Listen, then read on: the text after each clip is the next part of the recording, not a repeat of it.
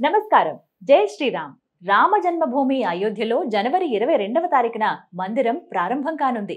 శ్రీరాముని విగ్రహ ప్రతిష్టాపన కార్యక్రమం అంగరంగ వైభవంగా జరుగుతుంది. ఈ విగ్రహ ప్రతిష్టాపన కార్యక్రమానికి మీరు కూడా వెళ్ళాలనుకుంటున్నారా? రాముడి గుడితో పాటుగా ఇంకా ఏ ఏ ప్రదేశాలు మనం వీక్షించొచ్చో ముందుగానే తెలుసుకోండి. హనుమాన్ గర్హి.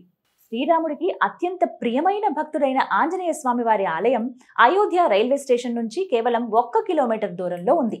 హనుమంతుణ్ణి అయోధ్య రక్షకుడిగా భావిస్తారు. శ్రీరాముని దర్శనానికి వెళ్ళే ముందు ప్రతి ఒక్కరూ హనుమంతుడి ఆలయంలో అనుమతి తీసుకుని అయోధ్యకు వెళ్ళాలి. ఈ ఆలయాన్ని మూడు వందల సంవత్సరాల క్రితం స్వామి అభయ రామదాసు సన్నిధిలో సిరాజ్ ఉద్ దౌలా స్థాపించారు. ఈ ఆలయం రాజద్వారం ముందు ఎత్తైన గుట్టపైన నిర్మించబడి ఉంది. అయోధ్యను కాపాడేందుకు వచ్చిన హనుమంతుడు ఇక్కడే ఉండేవారని చాలా మంది నమ్ముతారు. ఈ వాయుపుత్రుడి దర్శనం కోసం భక్తులందరూ సుమారుగా డెబ్బై ఆరు మెట్లెక్కాల్సి ఉంటుంది. ఇక మరొక ఆలయం దేవకాళి ఆలయం. ఈ ఆలయం అయోధ్యకు నైరుతి దిశలో ఉంటుంది. ఫైజాబాద్ నగరంలో ఈ ఆలయం నిర్మించబడింది. ఈ ఆలయంలో ప్రతిష్ఠించబడిన మాత గిరిజాదేవి విగ్రహం విషయానికి వస్తే సీతాదేవి తనతో పాటు ఈ విగ్రహాన్ని తీసుకొచ్చిందని నమ్ముతారు.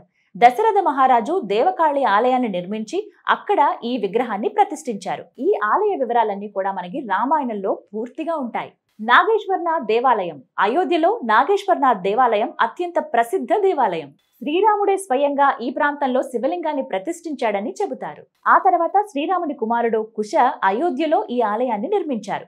శ్రావణ మాసంలో ఈ ఆలయంలో భక్తుల రద్దీ ఎక్కువగా ఉంటుంది. భక్తులందరూ ఈ దేవాలయం సమీపంలోని సరయూ నది నీటితో ఆ శివలింగానికి అభిషేకం నిర్వహిస్తారు.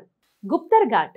గుప్తర్ ఘాట్ అంతమైన ప్రకృతి అందాలతో ఉండే ఆరవ ఘాట్. ఈ ప్రదేశంలో శ్రీరాముడు సీతాదేవి లక్ష్మణుడు కలిసి రహస్యంగా జల రవాణా చేశారని నమ్ముతారు. అందుకే దీనిని గుప్తర్ ఘాట్ అని పిలుస్తారు. ఈ నది ఒడ్డునే శ్రీరాముని దివ్యమైన ఆలయం మనకు కనిపిస్తుంది.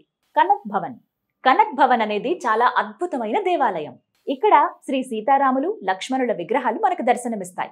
రామాయణం ప్రకారం రాముని తల్లి కైకేయి తన అత్తగారి ఇంటికి వచ్చినప్పుడు సీతాదేవికి ఈ భవనాన్ని బహుమతిగా ఇచ్చిందని నమ్ముతారు. ఈ ఆలయ శిల్పం శిల్పకళా వైభవానికి సంకేతం.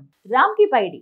రామ్కి పైడి సరయూ నది ఒడ్డున ఉన్న అయోధ్యలో అత్యంత ప్రసిద్ధమైన ఘాట్. ప్రతి సంవత్సరం ఇక్కడ చోటి దీపావళి నాడు దీపాల పండుగ నిర్వహిస్తారు.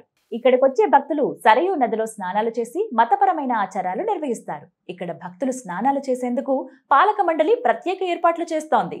రామ్ కథా పార్క్. అయోధ్య వెళ్ళినప్పుడు రామ్ కథా పార్క్ను తప్పకుండా సందర్శించాలి. శ్రీరాముని జీవితానికి సంబంధించిన ధార్మిక ఇతర కార్యక్రమాలు ప్రతిరోజు జరుగుతాయి. ప్రతి సాయంత్రం ఇక్కడ అద్భుతమైన లేజర్ షో నిర్వహించబడుతుంది. ఉదయం నుంచి సాయంత్రం వరకు ఈ ప్రాంతం అంతా జనసందోహంతో నిండి ఉంటుంది. చూసారుగా అయోధ్యలో రామ మందిరం చూడడానికి వెళ్ళిన మీరు ఇంకా ఎలాంటి ఆలయాలను దర్శించుకోవాలో ఈ వీడియోలో నేను మీకు తెలియజేశాను తప్పకుండా వీక్షించండి. ఇది వాళ్ళ వీడియో. అయోధ్య సిరీస్ ఆఫ్ వీడియోస్తో మళ్ళీ మీ ముందుంటాను. జై శ్రీరామ్.